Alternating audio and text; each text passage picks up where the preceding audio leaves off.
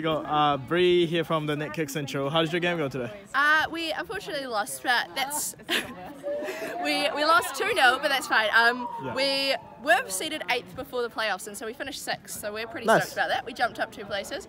Good to Um, hear. Yeah. So I mean, it was a loss, but a win. So What was the score at the end? Two 0 Okay, nice. All Sweet. right. Cool. Good luck for next season. Thanks. All right, cheers. Bye. Uh, so we got Viddy here from the Salty Pidgins. How did your game go today? Very good. We won 2 0. Yeah. Um, great passing from the team. Yeah. Um, we have great opportunities. It's Nice. a good game. Excellent day for it. So we're happy to win. Great to hear. Uh, hope to see you guys next season. All We will. Thank, Thank you. you.